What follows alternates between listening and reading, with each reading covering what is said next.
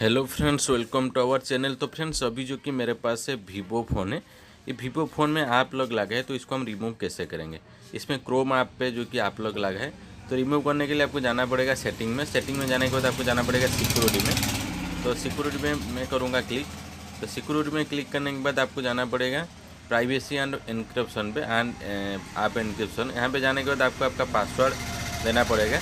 अगर आपका पासवर्ड याद नहीं है तो क्या करना पड़ेगा मैं बताऊँगा। उसके बाद आपको जाना पड़ेगा डिजेबल प्राइवेसी पासवर्ड उसके बाद आप कीजिएगा ओके तो आपके बाद, उसके बाद आपको पासवर्ड दे देना है। दे देने के बाद आपका ये जो कि ऑफ़ हो जाएगा। डिजेबल हो जाएगा। अगर आपको पासवर्ड याद नहीं है तो इसके लिए मैंने एक दूसरा वीडियो बनाया है। उसका लिंक मैं डिस्क्रिप्शन में दे दे रहा हूँ। अगर आपको पासवर्ड याद नहीं है तो